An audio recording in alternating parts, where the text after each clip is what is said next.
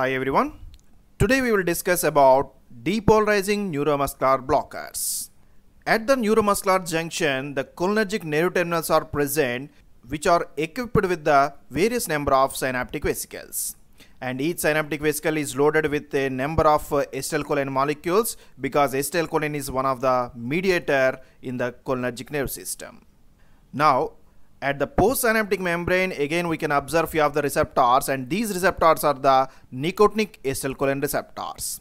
These nicotinic acetylcholine receptors are pentameric receptors which are made up of five subunits. So here you can see this alpha subunit, beta subunit, gamma subunit and again another alpha subunit and delta subunit. In this way they are made up of five subunits so they are pentameric in nature and they are ionotropic receptor. That means when they are going to be activated they will open the ion channels particularly sodium and calcium.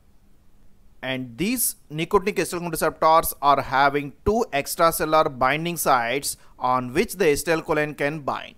So in this way all the nicotinic acetylcholine receptors are having two extracellular binding domains. So when the action potential reaches to the presynaptic neuroterminal, the cholinergic neuroterminal is depolarized, which facilitates the entry of the calcium into the nerve terminal. So calcium can enter into the nerve terminal which, which results in the exocytosis and release of this acetylcholine within the synaptic cleft. Now this released acetylcholine can bind to this uh, nicotinic acetylcholine receptors thereby it can open the sodium channels so that it can produce the depolarization in the skeletal muscle. In this way acetylcholine can produce the muscle contraction but at these nicotinic acetylcholine receptors again two types of drugs going to act to produce the muscle relaxation. So one type of drugs are the depolarizing neuromuscular blockers which can bind to the same binding site where the acetylcholine can bind. And again after binding they can open the sodium channels thereby they produce the depolarization of the postsynaptic membrane. So depolarizing neuromuscular blockers act just like the acetylcholine so initially they produce the depolarization of the skeletal muscle but later they produce the muscle paralysis. Similarly another type of drugs are the non-depolarizing neuromuscular blockers which act as antagonists so that they're going to bind to the same binding site where the acetylcholine is going to bind but this prevents the binding of the acetylcholine to these sites. In this way, non-depolarizing neuromuscular blockers prevent the cholinergic transmission so that the skeletal muscle is not depolarized. So now the neuromuscular blockers can be classified into two types by based on their mechanism of action. One is the depolarizing and another one is the non-depolarizing.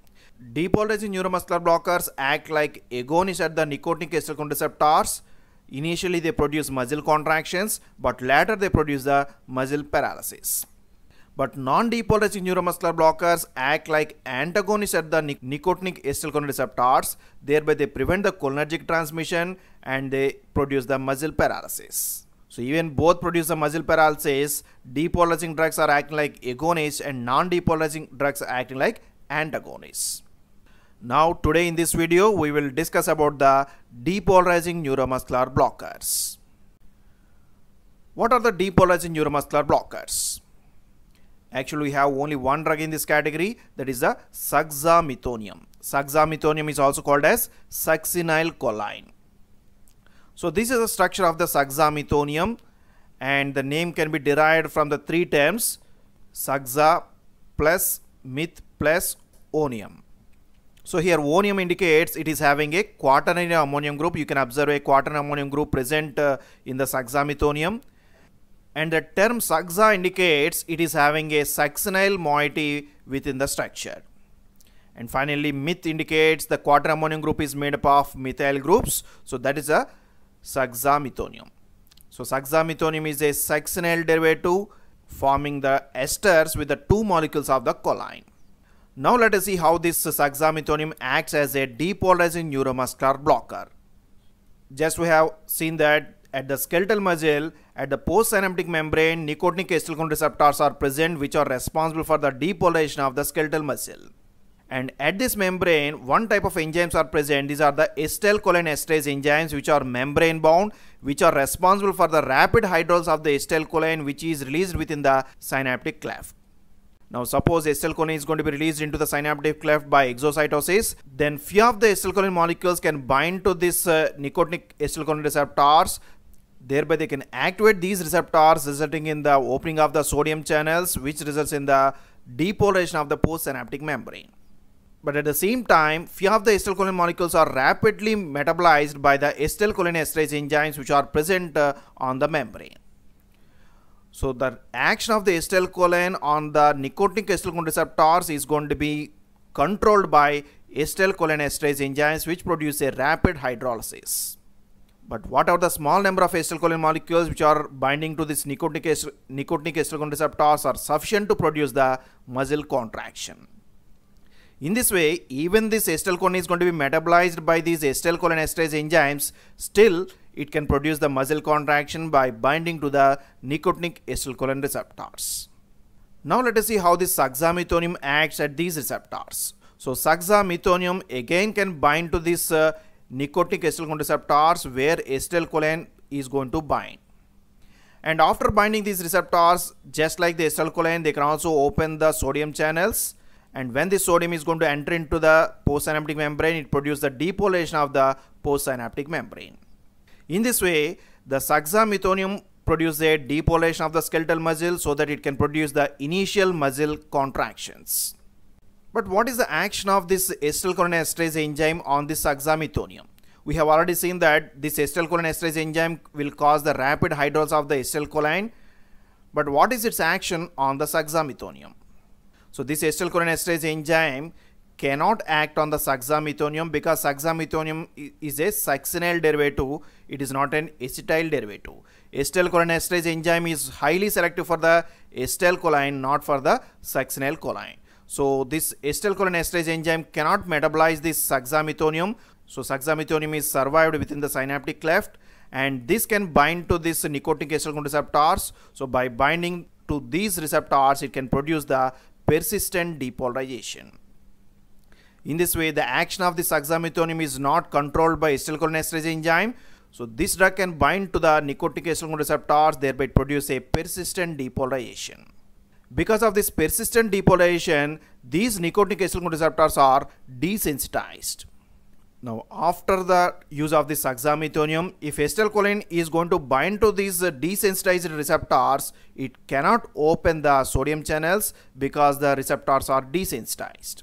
So, acetylcholine cannot bring any depolarization and contraction in the skeletal muscle. So, skeletal muscle is going to be paralyzed.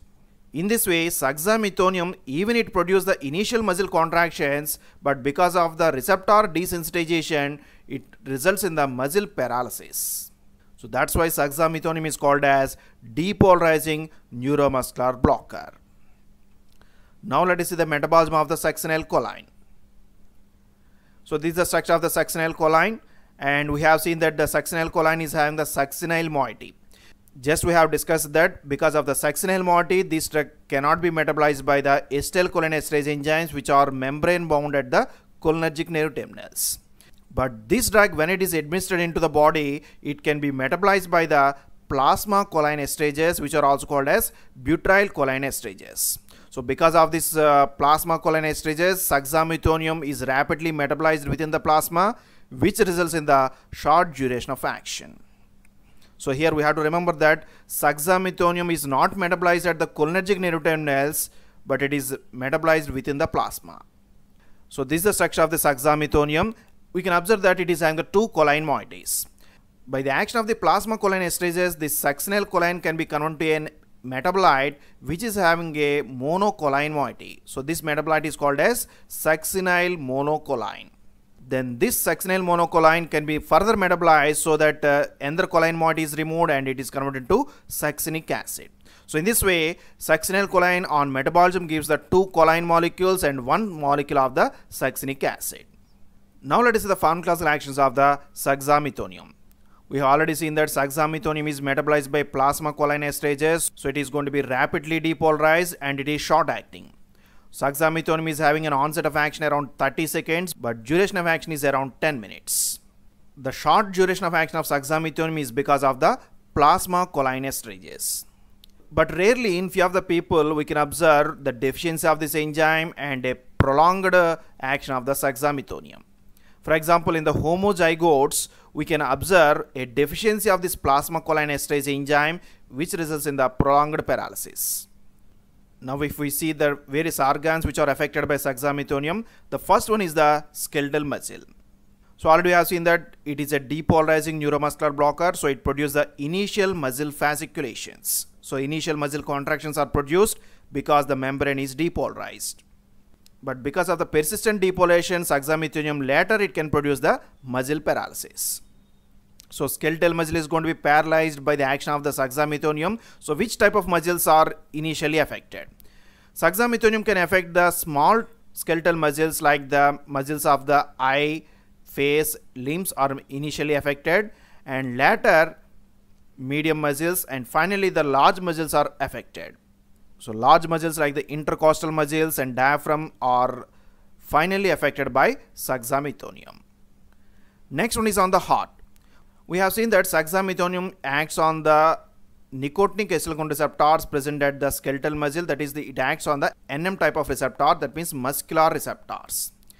And apart from this nicotinic action, suxamethonium can also inhibit the muscarinic receptors. We know the different types of muscarinic receptors M1 to M5.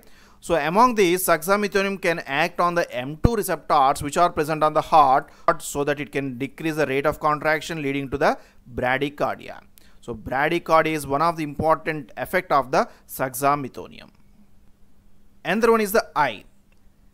At the eye, the extraocular muscles are going to be contracted by the suxamethonium which may affect the intraocular pressure and because of the contraction the intraocular pressure is going to be increased which may result in the eye pain in the patients. Now let us see the effect of the suxamethonium on the potassium levels. So at the neuromuscular junction, the suxamethonium can bind to this acetylcholine binding site so that it is going to open the sodium channels and these sodium channels produce a depolarization of the postsynaptic membrane. But this depolarization is persistent and because of this persistent depolarization, these sodium channels can also stimulate the outgoing potassium channels. So potassium can go outside so that the potassium levels in the serum may be elevated. So by the action of suxamethonium, potassium levels in the serum can be increased up to 0.5 to 1 milliequivalent per liter. This is not a significant uh, problem in the healthy people, but in the patients who are having the severe burns, trauma, and severe tissue damage and tissue injury, in such case, the hyperkalemia produced by suxamethonium is very significant and which may lead to few of the ventricular dysrhythmias. Now let us see the side effects of suxamethonium. So already we have seen the suxamethonium can act on the heart, so it decreases the rate of contraction. So one of the important side effect of the suxamethonium is the bradycardia. And it can also produce hypotension, a reduced uh, blood pressure. And another important side effect is the prolonged paralysis. Even the suxamethonium acts for a short period, but it can produce some paralysis which is somewhat prolonged and it can lead to few of the side effects. In the patients, we can observe some rigidity in the jaw as well as some respiratory depression because the suxamethonium can cause the paralysis of the intercostal muscles and diaphragm which may lead to some respiratory depression. And particularly this prolonged paralysis can be observed in the genetic variants as well as the few of the patients who are suffering with the liver failure. And another one is the muscle fasciculations. We know that the suxamethonium produces initial muscle fasciculations which may produce some post-operative pain. And it can also affect the eye, thereby it can increase the intraocular pressure and this is important in the patients with the glaucoma. And because of the persistent depolarization, it can also activate the potassium channels and it can elevate the serum potassium levels which is more important in the patients having the severe burns and tissue damage.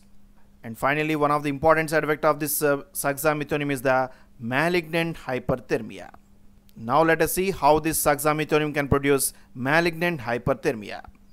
So at the skeletal muscle, the nicotinic acetylcholine receptors are present which are closely associated with the T tubules. So when this suxamethonium binds to this nicotinic acetylcholine receptors, these T tubules are going to be depolarized and this depolarization results in the activation of the ryanodine receptors present on the sarcoplasmic reticulum. So these ryanodine receptors are responsible for the release of the calcium from the intracellular stores within the sarcoplasmic reticulum. So when these receptors are going to be activated, they will release a large efflux of the calcium into the skeletal muscle, which results in the contraction as well as generation of the heat. Because of this uh, initial muscle contractions, the heat is going to be produced, which can be observed as a hyperthermia, a raise in the body temperature, and which is a severe, so it is called as malignant hyperthermia. So this malignant hyperthermia is, can be controlled by inhibition of the release of the calcium from the sarcoplasmic reticulum. This can be achieved by one of the drug dantrolene. Dantrolene acts as an antagonist at the ryanodine receptors, thereby inhibits the release of the calcium from the sarcoplasmic reticulum and it prevents the malignant hyperthermia. And this side effect is uh, also observed with few of the other drugs like the halothane which is a IV anesthetic and chlorpromazine which is a antipsychotic. So whenever these drugs are combined with the suxamethonium they can produce a severe malignant hyperthermia. Now let us see the clinical use of the suxamethonium. One of the clinical use the tracheal intubation. So tracheal intubation is the insertion of the tube into the trachea and this should be done at a rapid rate in order to prevent the movement of the food into the pharynx this can be done by rapid relaxation of the tracheal muscles which can be achieved by suxamethonium. So suxamethonium rapidly relaxes the tracheal muscles as well as it is short acting. So it, it facilitates the insertion of the tube into the trachea. In this way, suxamethonium can be used for the few of the minor surgical procedures where the rapid skeletal muscle relaxation is required for a short duration. Similarly, this suxamethonium can also be used in the electroconvulsive therapy. In the ECT, the convulsions are treated by electrical therapy where the patient can observe few of these convulsions and these convulsions are controlled by suxamethonium as it produces the muscle paralysis. So in this way, suxamethonium is a depolarizing neuromuscular blocker which is rapidly acting as well as shortly acting. So it can be used for the few of the minor surgical procedures where the muscle relaxation is required rapidly as well as for a short period. So particularly suxamethonium can be used along with the IV anesthetics in order to produce a rapid muscle relaxation. So that's about this depolarizing neuromuscular blockers. If you like this video, please subscribe to our channel and share this video with your friends and post your comments in the comment box. Thank you for watching this video.